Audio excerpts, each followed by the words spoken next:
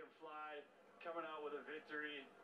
Can you explain to me what you yelled on the mic after the fight? It's 10 p.m. on a Sunday night. The phone is ringing and it's the UFC. Dana White or Hunter Campbell is on the line and tells you you're the next challenger for the world title. The annoyance and fatigue quickly goes away, and you get up and run a mile to prepare for the biggest fight of your life. That title shot is the reason why they all do it, but out of 600 or so fighters on the active roster, a handful are awarded by that rare phone call. And for the most part, you challenge for the title only one time in your career. June 1st, Newark, New Jersey pay per view. Main event Islam versus Poirier.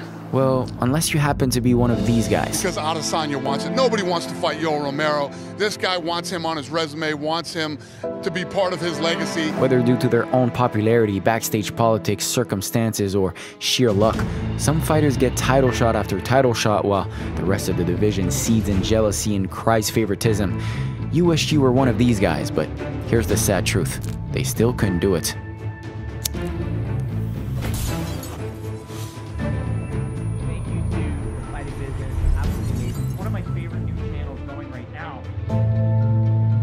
Getting self-conscious about the promotion of smoking in the intros of my video. What if I'm promoting a bad habit to such influenceable kids like you are? But with the sponsor of today's video, I'm guilt-free. FÜM is an award-winning flavored air device that contains absolutely no nicotine. There's also no vapor, so you can use it pretty much anywhere, and it comes with a multitude of delicious flavors like crisp mint and orange vanilla. Physiology shows stopping a bad habit cold turkey is very hard on your brain. FÜM works by replacing your hand to mouth fixation, calming nervous tension and anxiety with magnets, snaps, and clicks. And through the non addictive and natural plants flavors, you can replace your bad habit with a healthy one. Now, hear me out. Use my code FIGHTING to get your free FÜM base when you order the Journey Pack.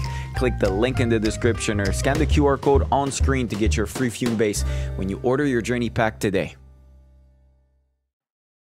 Number 1. Alexander Gustafsson. Alexander Gustafsson is still known as the guy who gave Jon Jones one of the toughest fights of his career. It was such a close fight. When the when the scorecards are being tabbed and you uh, you know you're just sitting there waiting for the decision, did you think you had it? You know, I didn't know. He was supposed to be an easy title defense at UFC 165, but he made the seemingly invincible champion work, bleed, and suffer. The first three were close, but Jones rallied in the championship rounds and won the decision. Finally, Jon Jones had a worthy rival, and of course, a rematch was in the works. Who doesn't want to see this rematch? You know what I mean? The rematch we all wanted to see was postponed indefinitely with Alexander Gustafsson losing to Anthony Johnson and Jon Jones losing to the wheel. When Daniel Cormier won the vacant 205 pound title at UFC 187, Gustafsson, despite getting knocked out in his last fight, was selected as his first defense. It was an undeserved title shot, but the Mauler gave the new champion all he could handle at UFC 192. He came this close to beating Cormier, but the championship rounds proved to be the difference yet again, and DC won the fight by split decision. October 3rd, sorry, 2015, Alexander Gustafsson and I just truly left every part of ourselves inside of the octagon in Houston. I remember watching James Harden, Dwight Howard, those guys going crazy next to the octagon. Gustafsson won his next two fights in nearly five years after UFC 165. Jones versus Gustafsson was official for UFC 232 for the vacant title.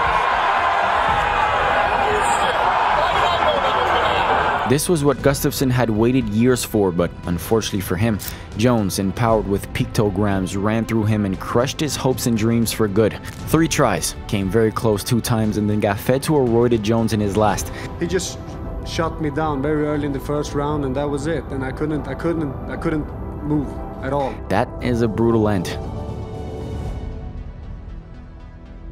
Number 2. Stephen Thompson. When Wonderboy utterly decimated former welterweight champion Johnny Hendricks, the entire division was put on notice. A clinical victory over Rory MacDonald next left no doubt that he was the next challenger for the 170 pound title, and the person holding the belt was Tyron Woodley.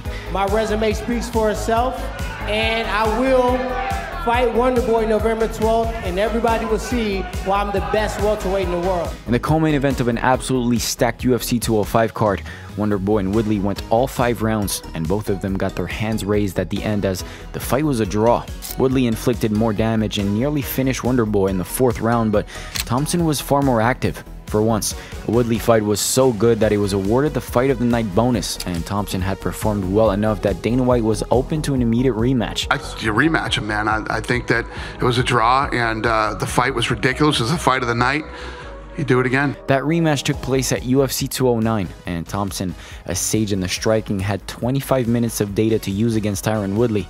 The champion was even more massive than usual, but so was Wonder Boy. And in the second shot, just months after the first one, he did the bare minimum, and we were bored to tears with a 24 minute staring contest. The one minute of action was from Tyron Woodley, and that was enough for the judges to give him the victory by a majority decision. The two fights were extremely close. I could have done a little bit more out there, but what happened happened, and they got to move on from there. Well, if Wonderboy landed one more kick at UFC 209, we would have gotten a new champion, but he came this close to edging out a decision not once but twice, and just barely missed it. Number 3. Chad Mendes. At one point, Chad Mendes was the best fighter to emerge out of Team Alpha Male. A highly accomplished college wrestler and built like Mini Hulk, Mendes was near unstoppable at featherweight. Too fast, too strong, and too good of a wrestler. And with a nice win streak, Mendes challenged Jose Aldo at UFC 142. And with such a high level wrestling background, Mendes was thought of as one of Aldo's toughest defenses. That first attempt for Mendes ended with a knee to the jaw and a knockout that was a mix of power too. Me coming in hard, right. him throwing it. So that's both forces coming into that. Mendes took that personally and began to knock out the other featherweights all the way to a rematch with Aldo. I'm gonna fuck this guy up. The second fight took place at UFC 170. Aldo still ended up winning again, sending Mendes to the back of the line, but not for too long. The season title challenger was called to replace Aldo at UFC 189. Conor McGregor and Chad Mendes competed for the interim featherweight title, and despite a heavy wrestling game plan, Mystic Mac struck again and knocked out Mendes in the closing moments of the second round, just as he had predicted. Three title shots for Chad and about a million for Faber. Team Alpha Male is truly cursed, guys. Number 4. Dustin Poirier. I'm pretty sure this one is valid despite Poirier winning the interim lightweight title. That counts as gold, but interim belts might as well be silver because the real gold is the undisputed belt, and that's something Dustin Poirier was never able to capture. Hurts to admit. Also, the fact that you have not checked into Patreon hurts as well, like a punch to the gut from Francis Ngannou. Do check it out, but only after we're done here. Following his win over Max Holloway, Dustin, the interim champion, faced Khabib, the undisputed champion, and as we all know, UFC 242 was not a good night for Dustin. Khabib pretty much walked through him, but Poirier was still young and he kept busy, building his resume and star.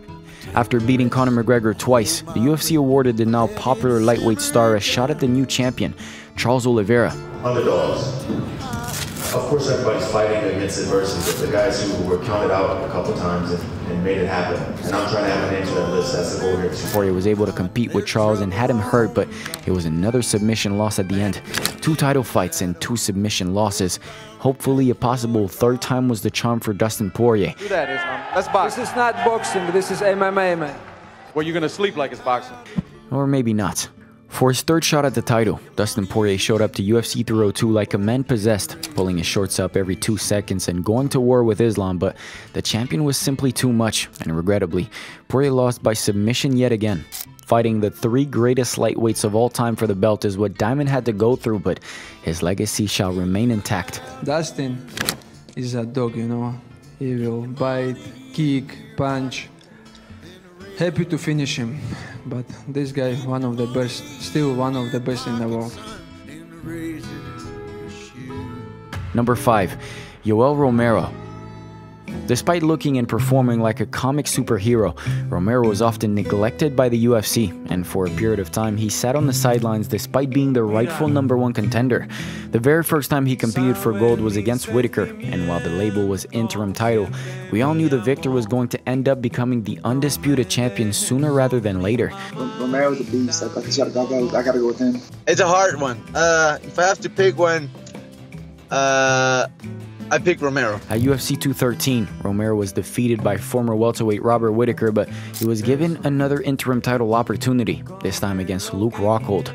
Sadly, Romero missed weight, but went on to knock out Luke Rockhold, leaving the UFC no other option but to book a rematch between Romero and Whittaker. Australia have the, the first champion in the, in the history of UFC. Cuba needed two. That's what I do. The rematch was much closer than the first one, but Whittaker went 2 0 against Romero. Three opportunities, and at 40 something, you'd think that would be the end of his championship hopes, but there was a new king at 185, and that new king handpicked Romero. yes, he's coming off losses, but I don't want to sit around and wait on the shelf. And he's a guy that everyone's scared to call out and say, yeah, I wish he didn't, because Adesanya versus Romero was one of the worst title fights in UFC history. It was the fourth and last chance for Yoel, but he still could not hack it. I don't know whether to be happy for them or feel sad about their inability to win the big one. Lucky or unlucky, blessed or cursed. Personally, I'd go for the latter. At some point, when you keep failing in title matches, you end up as the answer to a depressing piece of UFC trivia. Who keeps failing despite being given opportunity after opportunity? It's this guy. Your label a runner up, a gatekeeper, someone who is simply not good enough to win the top prize in the sport. Internally, every loss builds a cancer in your soul, and at one point you even begin to wonder Am I even good enough to win it? The record gives you a clear answer. Ouch. Get YouTube SEO Masterclass, editing, breakdowns, all previous and upcoming videos, music playlists, downloadable thumbnails, your name in these wonderful credits, and so much more on Patreon. Have a look at it right here. And with that being said, I gotta bounce. Catch y'all on the next one. Peace out.